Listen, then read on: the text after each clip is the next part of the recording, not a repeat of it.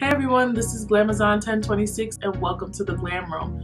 We are going to be continuing our Back to Basics series with complexion work, aka highlight, contour, foundation, the works. If eyebrows are the most important part of your face, your complexion work is second. So if you would like to see how to get a flawless base for any makeup application, please stay tuned.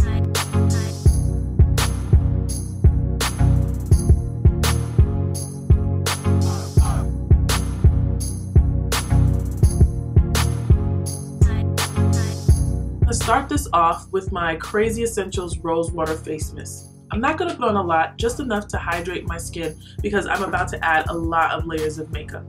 In order to make sure that this base is flawless, I'm going to be using my Milk Makeup Blur Stick to get these pores out of here. I don't want to see no pores.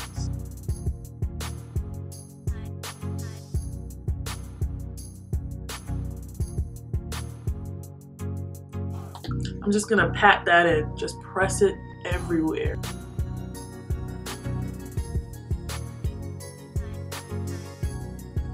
I'm going to put on my Boscia Porefecting White Charcoal Mattifying Treatment Primer just in my T-zone because I feel like every time I wear makeup for an extended amount of time, I get oily right in here. Not oily, just like I glisten. I don't like to glisten. So I'm going to put this down. You only need a little bit right under my eyes, on my forehead, around my nose, and on my chin. And I'm just going to press that in. You want to make sure you don't rub because it will ball up on you. It's just not good.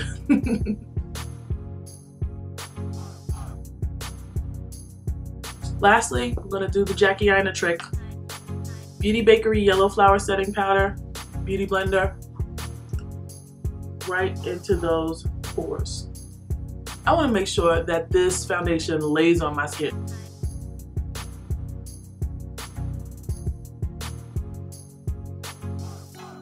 I'm going to spray my face again with the Krazy Essentials Rose Water just to take away any excess powder that may have been left behind. I'm going to take my Lancome Teint Idole in 460W. I'm going to apply that to the back of my hand in order for it to warm up by the time I'm ready to put this on my face, it's going to react with my skin's chemistry and it's going to be the perfect color for me. While we're waiting for my foundation to warm up, I'm going to take my BH Cosmetics Studio Pro Concealer Wheel in dark and use a concealer brush, dip it into that orange for some color correction.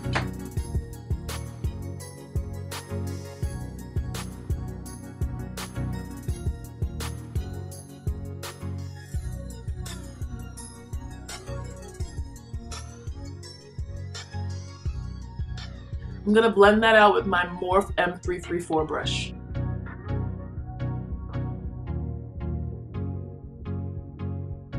I'm applying my foundation to my face section by section because it's easier for me to blend out. And I'm gonna use my Makeup Geek face buffer brush in order to do that. This is my Holy Grail foundation. I will always buy it as expensive as it is.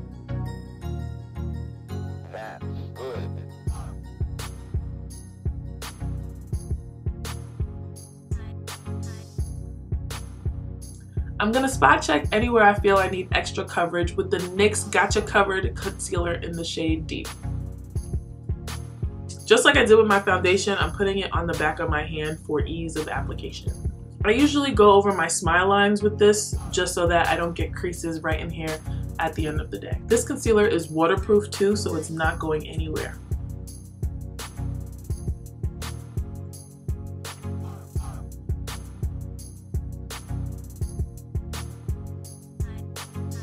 Gonna buff that into my skin with that Makeup Geek foundation brush. I'm going to take my NARS Soft Matte Complete Concealer in Chestnut and my MAC 195 brush. I'm going to use this as my concealer highlight.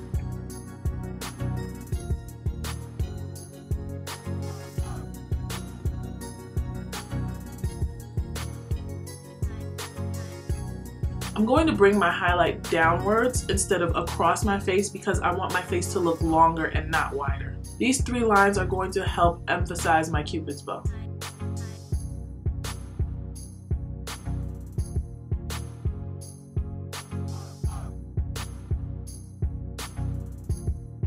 For contour, I'm going to be using the Black Opal True Color Foundation Stick in the shade Suede Mocha, along with my Chiseled Cheek Brush from Makeup Geek. A good rule of thumb for your contour is to not let it get past the arch of your eyebrows. If it goes too far down, then you're gonna end up looking very muddy. We don't want that, so keep it right in line with the arch of your brow.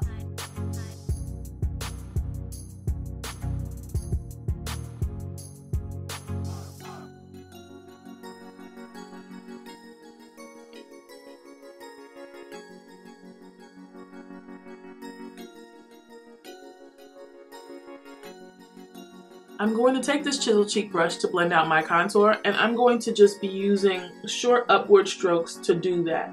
If you blend down or blend like this, you'll end up looking very muddy.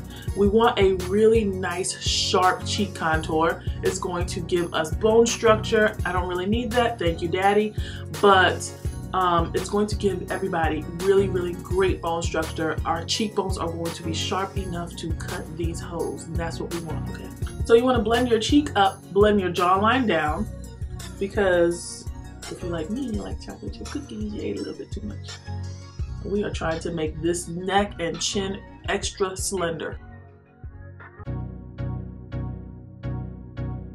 Your forehead down, but make sure that you are going into that hairline because God forbid a strong wind come and blow your wig back, then everybody's gonna see that you're two different tones. We don't want that. And no, my edges are not laid because I forgot. They'll be all right. In order to get a really sharp nose contour, you're going to do the same thing that you did with your cheek. You're gonna start at the base of your nose and blend upward. This line that we put of concealer, it's going to make it nice and straight creating a shadow in your nose. So if you are like me, when you love your Negro nose with Jackson 5 nostrils, but you want it to look a little snatched, we got that coming. Me and Beyonce, because we both love our Negro nose with Jackson 5 nostrils. But sometimes you just need it to look, you know,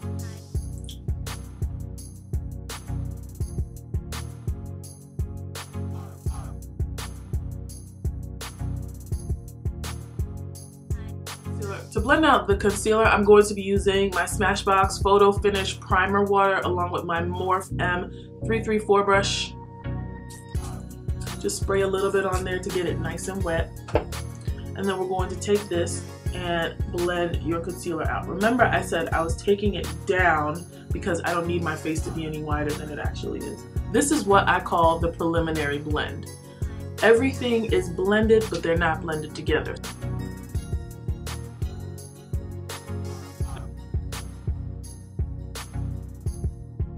Switch back and forth between the brush that you use to blend your highlight and the brush that you use to blend your contour. This ensures that everything is seamless and there are no transition lines. You will not be able to tell where one ends and where the other begins. If you find that you're having a hard time marrying the two shades, you can use the back of your same beauty blender and just go over the line of demarcation.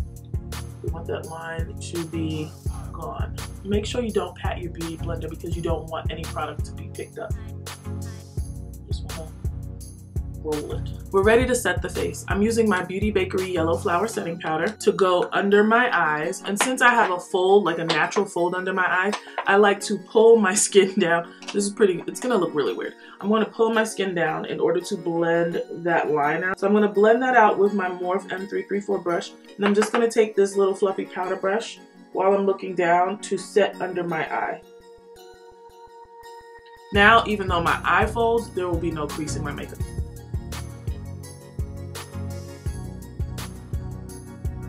I'm just going to put this powder everywhere that I put that highlighter, that concealer. And not a lot. I usually don't bake because who has time for that? Then I use my Kween Cosmetics Luxury Setting Powder in Caramel to set the rest of my face. Everywhere the highlighter wasn't. The thing I like most about both of these powders is that no matter how much you use, there is zero flashback. For extra insurance, I'm going to use my NYX No Filter powder over my whole face, just to blend everything nicely together. I'm going to use my Krazy Essentials Rose Water again just to make sure that everything melts into my face. I'm going to take this Black Radiance Artisan Baked Blush in the color Toasted Almond to use, I'm going to use this as a bronzer. And I'm just going to add color back into my face. Bronzer will warm your face up while contour will give you shadows. Contour takes away, bronzer will just give you that color. These contours are usually ashy. Next up is my Black Radiance True Complexion Contour Kit in medium to deep. I'm going to take this middle sculpting color on this flat, densely packed brush. I'm going to put it everywhere that I highlighted.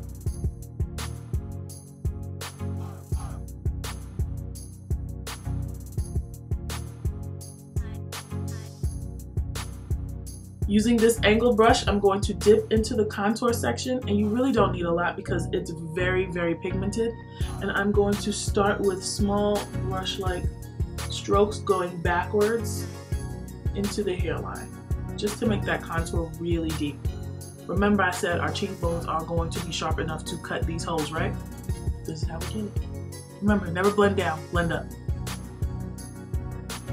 Then we're going to take whatever's left and go around the hairline under our chin and jawline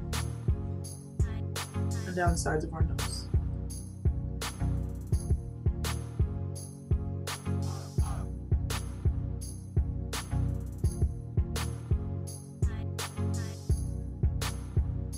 If you need to, you can go back in with your Beauty Bakerie setting powder right under your contour to make sure that line is super sharp.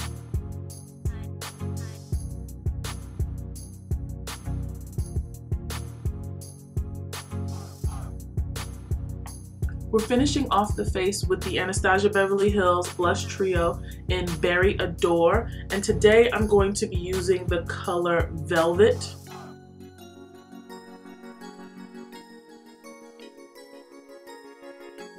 Last but not least, we're going to be using this Makeup Geek highlight in the color Ablaze to just touch on the high points of my face.